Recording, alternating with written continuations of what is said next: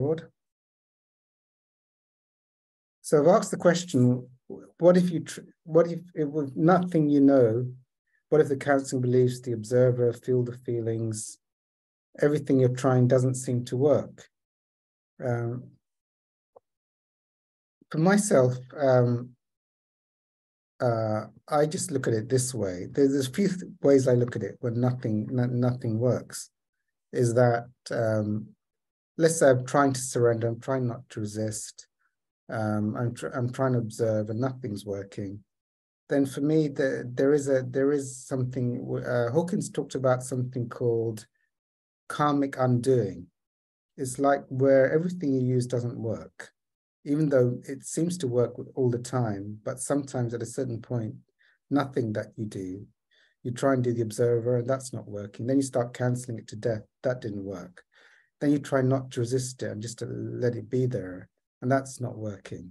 And nothing's working. And Hawkins said there's a type of karma where you'd have to see what happened in this lifetime or prior lifetime, where you're blocked from using any of the tools. The tools don't won't work It's like grace, and it's like it's uh, um, I call it karmic undoing. Hawkins calls it something in um, I writing subjectivity, is a specific type of karma, where you just have to let it run its course until that's paid off um, through you have to experience it out.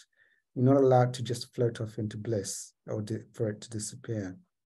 Um, and there's a reason why, but it's like though that is a specific type of karma. So even though you normally you can just disappear it with the observer or just cancel it out, sometimes you're blocked from using those tools. And it's like, and you are you are spiritually growing. It's just that you can't get rid of it. Uh, it just has to run its course. And all the things that would work and always do work are, are not working. And uh, you'd and then if you're able to uh, recall the past life, or whatever and see what guilt was there and that uh, it's almost like there's a choosing that you will undo that um, that thing that happened through actually experiencing it without relief. And so there's that so i would just to say i'm trying everything.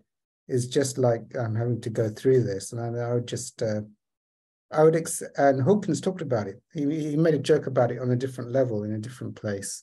But i do remember it, it was quite funny. He said, like, uh, one day you find out that your wife has left you for another man and taken the Mercedes with, with, with you. And he goes, well, if that happens, he said, well, just say that pays that karma off and laugh and let it go. You know, that's just, um, so I just go, well, you know, it's hard to laugh sometimes, but you're paying off a karma that you have to just pay off and it will pass. And you are doing spiritual work. So that's how I contextualize that you know, uh, it's not like, um, is there, I mean, I mean, you know, you can do, there, there's other things I could say, but that would be on along or the other lines, like um, you could not resist it, go to the observer, cancel it.